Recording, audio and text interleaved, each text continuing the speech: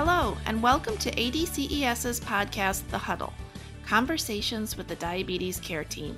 In each episode, we speak with guests from across the diabetes care space to bring you perspectives, issues, and updates that elevate your role, inform your practice, and ignite your passion.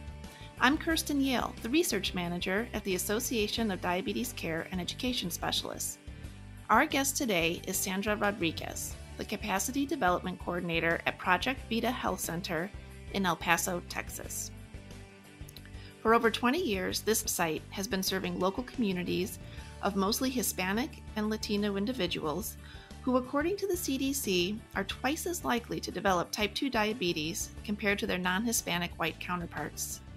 Sandra will share some of the innovative ways her program engages with the local community and clients to provide services that support health by addressing the body, mind, and spirit of the individual.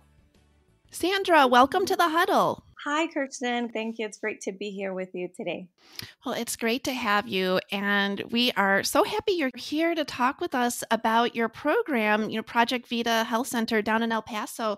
You know, you guys have been such great collaborators with us here at ADCES on the National diabetes prevention program. And, you know, I know we've actually learned so much from your group and what you do. And we've been able to apply, you know, a lot of those principles to the work we do with the broader um, groups that we work with through the CDC on the National Diabetes Prevention Program. Um, so, number one, thank you for that. Um, and then number two, I, I know you pretty well, but I would love for our listeners to get a chance to um, know you and hear a little bit about Project Vida Health Center and what you guys do down there in El Paso.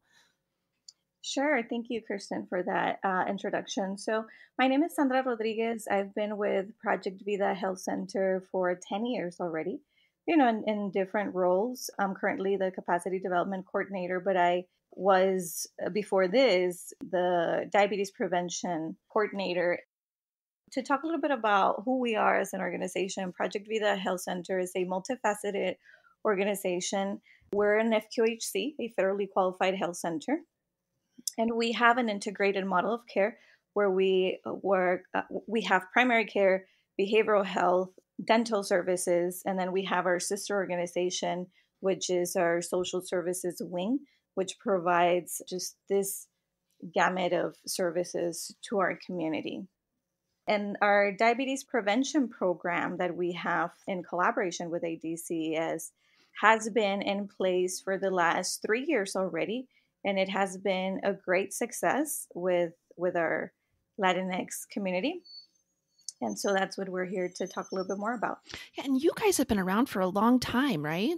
Yes, as an organization, we've been around for over 20 years. You know, the way this organization started, it was just basically having coffee with the neighbors, our directors, which are still in the organization with us they envisioned to provide services in areas that were underserved. So they basically went down, they had conversations with the community, they tried to understand what those needs were to ensure that whatever those services were were brought to their community were those that were actually needed.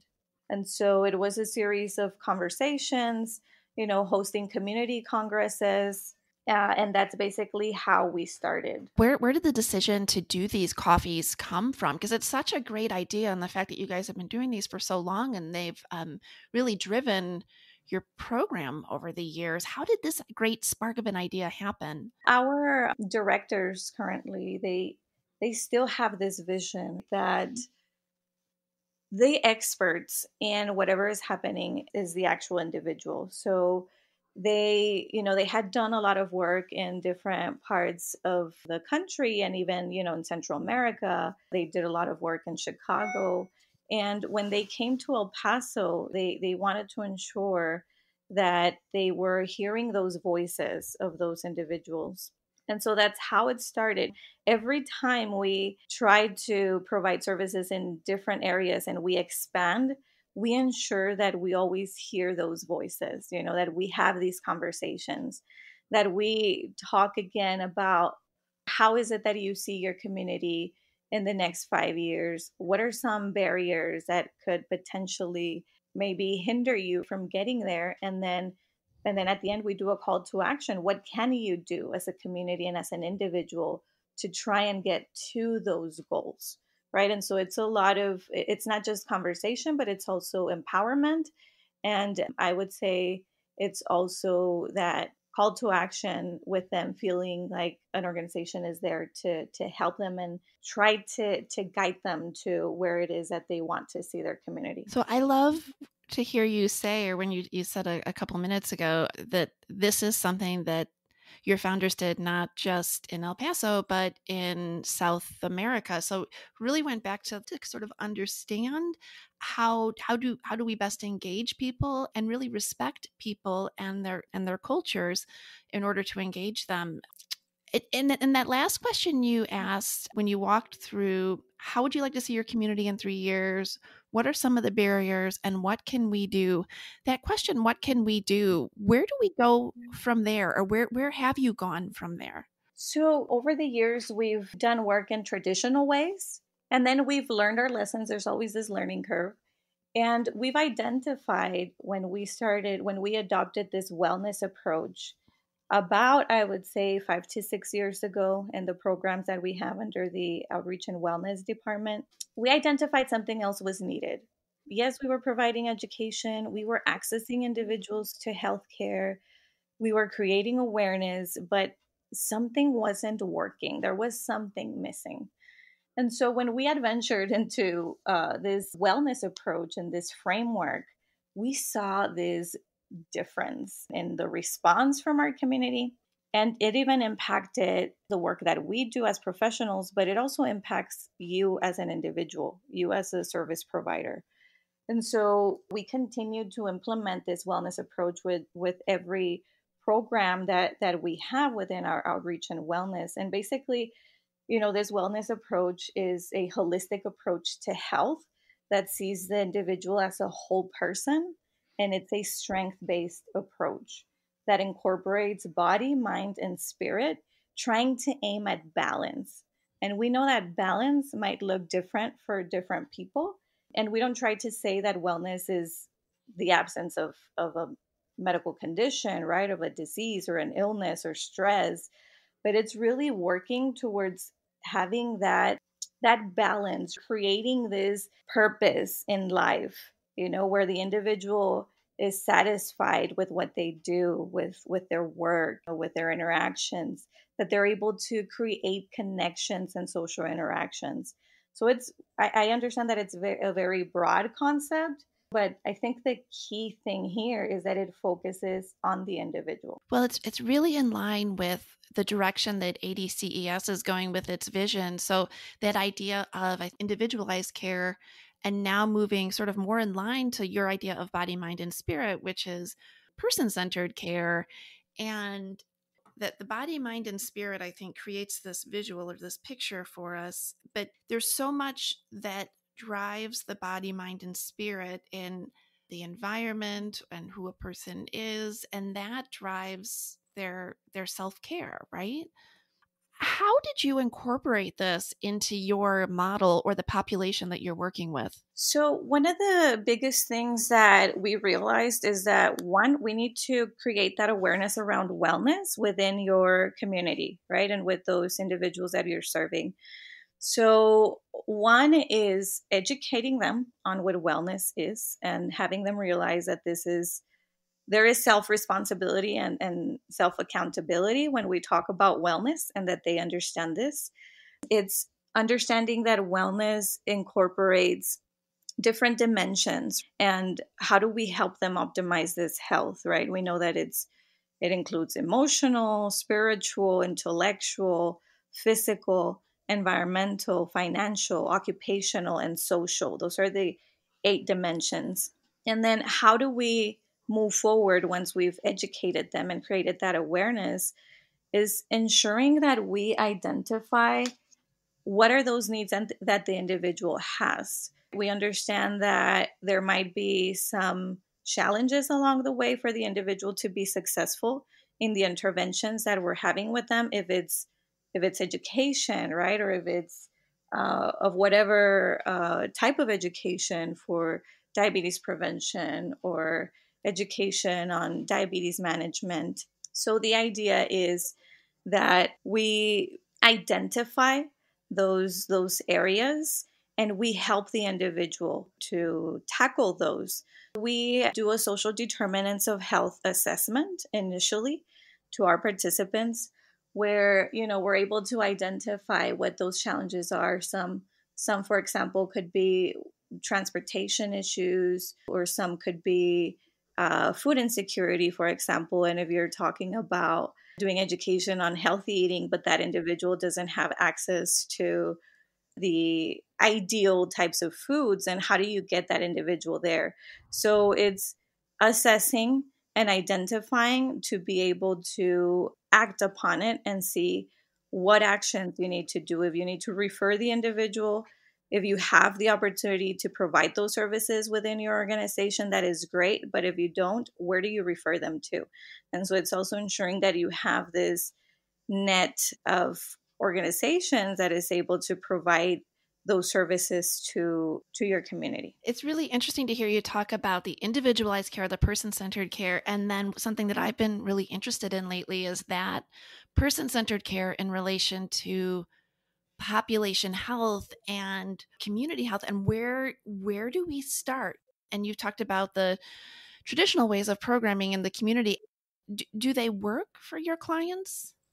They need some enhancements. We've identified that these traditional ways can be challenging and they might not help us reach the majority of our population.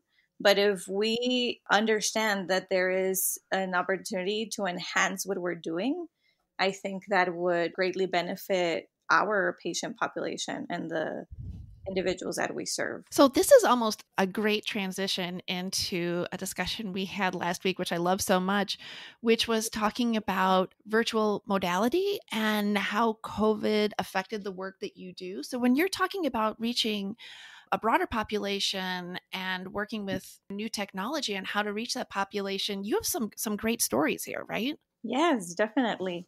I don't know if a lot of organizations and individuals felt this way, but when COVID came about a few months ago, we said we're not going to be able to provide services. Like, there's no way we're going to be able to have our, our patients and our clients uh, connect in this virtual world. That's what we thought. That was our first thought. But then we said, okay, wait, we need to get creative. How can we reach them? They still have needs. They they still need to feel connected. So what can we do? And so really exploring this new virtual modality has has really been a great learning experience for us. You know, we've identified that it's it has been very successful within our communities. Yes, there has to be additional steps that you need to take. You need to educate them on how to use their their devices, but the majority now have smartphones. So mm-hmm. there's this opportunity for you to teach them how to connect. And then once you get to that, then you're able to provide the interventions that you would normally on a face to face, but through a virtual modality. What we've seen is that in the past, when, when we provide services for our communities and we say, okay, we're going to have these classes, you know, and they're free and, and we don't have that attendance that we wish we had all the time, right? And so there's different barriers. You know, it could be transportation, it could be some individuals are the primary caretakers of a family member. And so this this is a challenge. And so with this virtual modality, those barriers have eliminated. I mean, we're able to connect with the individual that couldn't make it to class because they were out of work super late and from the time they would commute to our facilities you know it was it was just too much and they weren't willing to do that. You know and same thing for for those primary caretakers they had to find someone else to to look after their loved ones and so this ability to be able to connect with them where they're at el- eliminates all those barriers you know and, and we're able to engage with them uh, within their own environment and it has helped us also to understand their backgrounds, you know, where they're coming from and what challenges they face on the day to day. And so it has been a great learning uh, opportunity for us. so much that now we can't envision doing this program without this virtual modality. If we were to move forward and say, in a few months, in a year, we were we would be able to go back to face to face.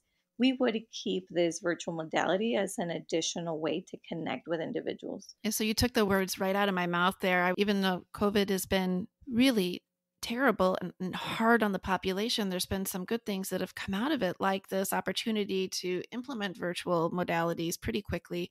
And it sounds like you have some some um, members of your population actually work better on virtual modalities. Yes. You know, it is no secret that uh, reaching our male population is is a challenge. You know, they have competing priorities and so it, it becomes a challenge when you try to focus in providing services to them.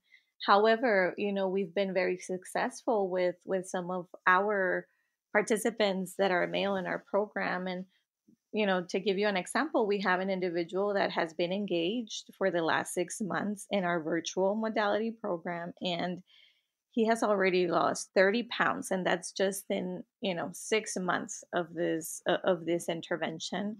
And then again, it goes back to we eliminated that barrier for this individual because now he's able to attend even when he's tired right after work but he's he has the ability to connect and then having the ability to educate him on wellness and understand how one area can impact another uh, has been you know has has been great because we we see the impact on this individual. 30 pounds sounds like a big number but think about the benefits in the health of that individual. And the benefits of so many more following him if they can follow the same program. So the impact can be you know exponential when we think about it and and you know sandra that brings me to start thinking about so we we know this works um, we know that the community engagement approach that you guys do works. We know that now you guys have implemented this virtual modality and this works, and you're doing,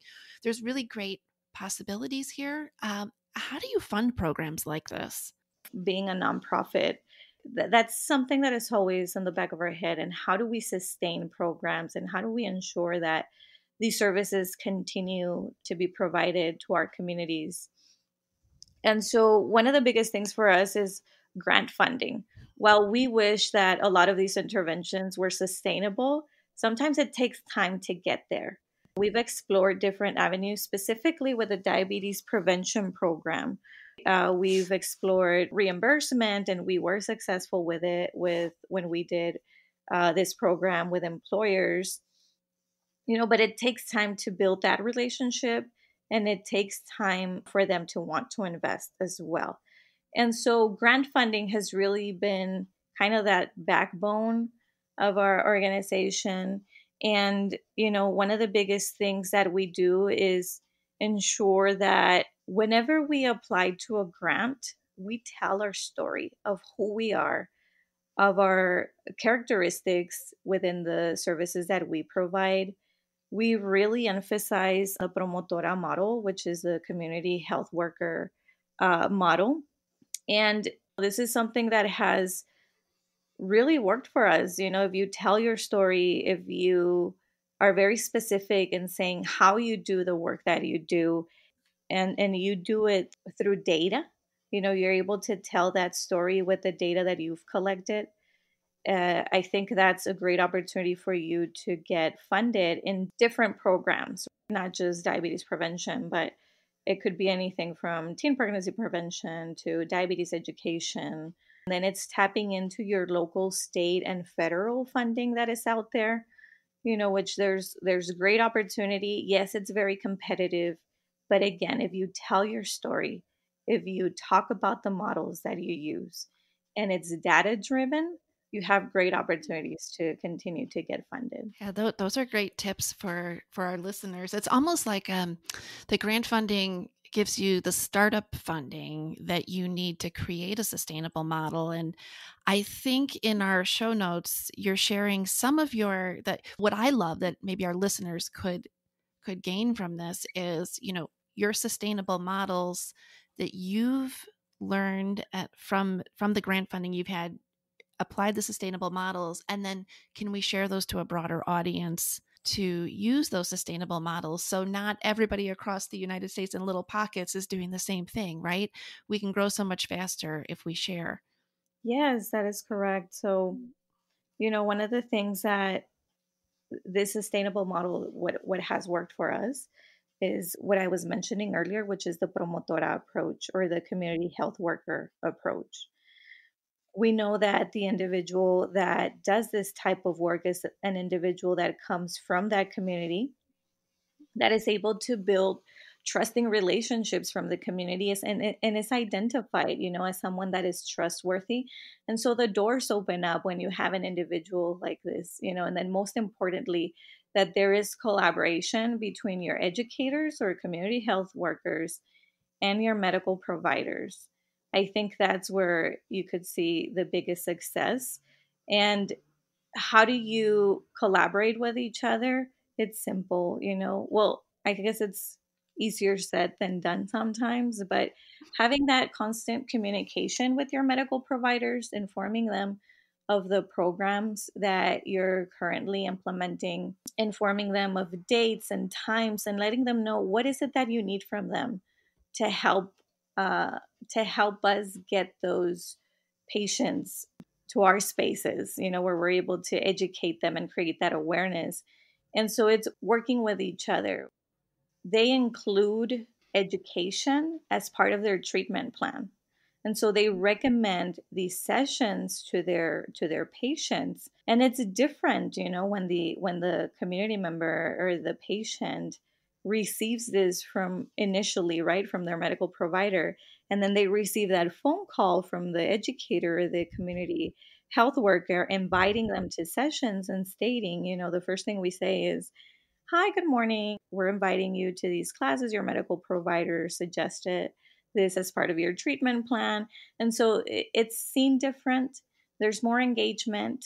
You know, there's that collaboration that is ongoing between that medical provider and the community health worker.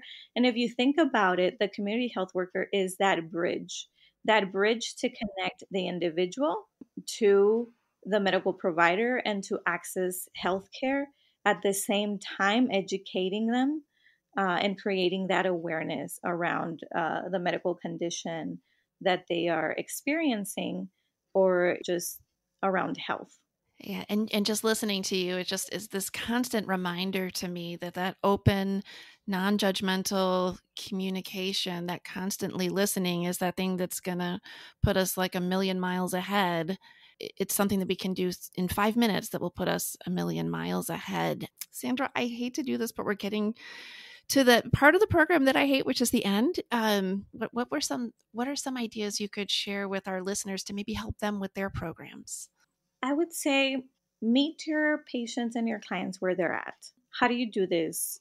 There's different ways. One could be identifying and addressing your social determinants of health, capturing it on, on paper. And this way, that's going to be your roadmap, right? As to what are those challenges that you're going to tackle with this individual and it's going to help you be more successful with whatever intervention it is you're doing from from prevention education or even treatment and then next is develop a tool that makes sense to you there's a lot of tools out there you know that can help you identify barriers but you can create one that makes sense for you another thing that is important is always collect data collect data, data, data. That's the way you're going to tell your story.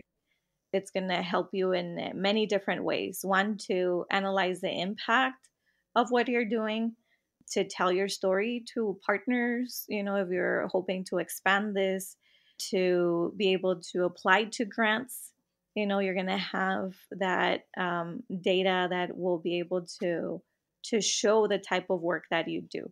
So I think those would be the biggest things that I would share with all of you. I love that you ended with data and data telling a story because that's always my mantra. Don't just throw numbers out there. ask the questions of the data and let the data tell the story and then share that story. If I can share, this has just been an incredible conversation. You know, I think my takeaways about building trusting and engaging relationships with the community and and also that big piece that we started with and I think you weaved all the way throughout, which is respecting and listening to the people in the community and their body, mind, and spirit. So that is what I am going to be remembering this week.